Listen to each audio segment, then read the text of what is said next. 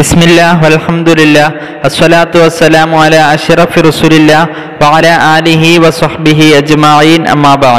ഇമാം ബുഖാരി റലിയല്ലാഹു അൽ അദബുൽ മുഫ്രദ് എന്ന കിതാബിൽ ഒരു ഹദീസ് കൊണ്ടുവരുന്നതായി കാണാം.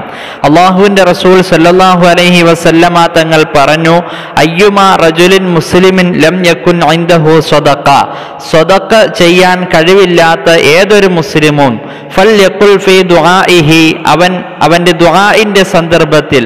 അള്ളാഹുവിനോട് ദുആ ചെയ്യുന്ന സമയത്ത് അവൻ പറഞ്ഞുകൊള്ളട്ടെ അള്ളാഹുമ്മ സല്ലി അലാ മുഹമ്മദിൻ അബദിക്ക വ റസൂലിക വസല്ലി അലൽ മുഅ്മിനീന വൽ മുഅ്മിനാത്ത് വൽ മുസ്ലിമീന വൽ മുസ്ലിമാത്ത് എന്ന സ്വലാത്തിനെ അവൻ പറഞ്ഞുകൊള്ളട്ടെ ഫഇന്നഹാ ലഹു സക്കാത്തുൻ തീർച്ചയായും ഈ സ്വലാത്ത് സ്വതക്കയുടെ സ്ഥാനത്ത് നിൽക്കുന്നതാണ്.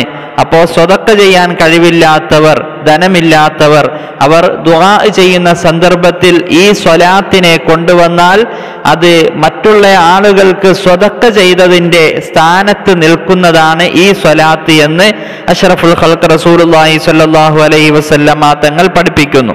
അതുകൊണ്ട് നമ്മുടെ ദുആഉകളിൽ ഈ സ്വലാത്തിനെ കൊണ്ടുവരാൻ നാം ശ്രദ്ധിക്കുക. അള്ളാഹു താല തൗഫീഖ് അല്ലാഹുമ്മ സ്വല്ലി അലാ സയ്യിദിന മുഹമ്മദിൻ വാല ആലിഹി വസഹ്ബിഹി അജ്മഈൻ. വൽഹംദുലില്ലാഹി റബ്ബിൽ ആലമീൻ.